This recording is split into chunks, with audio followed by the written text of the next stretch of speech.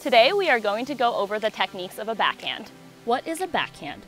Simply hitting the ball from your non-dominant side from the baseline or the net. Most players will find this the more unnatural stroke. Typical technique. Grip the paddle and get into position.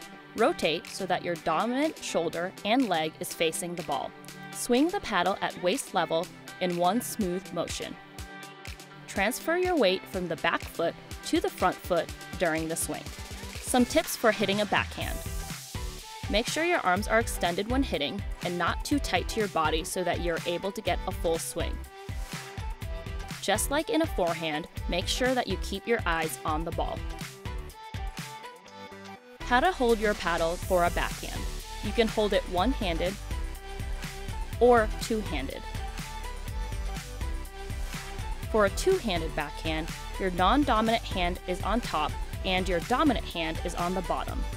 One tip is putting your finger on the backside of your paddle to help with positioning. Since the eastern grip is neutral, you can use that for the backhand as well. To find the eastern grip, place your hand on the face of the paddle and drag down to the grip, just like you would shake someone's hand.